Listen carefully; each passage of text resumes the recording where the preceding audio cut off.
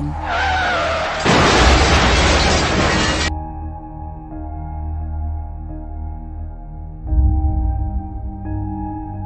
Com.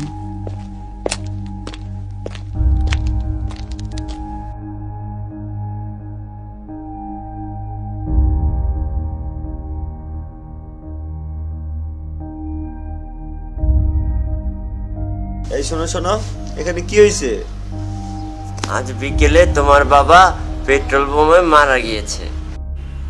যারা petrol বোমা ছুড়বে, তাদেরকে বলছি, এই পেট্রোল বোমায় মরতে পারে আপনার আপনজনেরা। সুতরাং নিজে বাঁচুন, অন্যকে বাঁচতে দিন।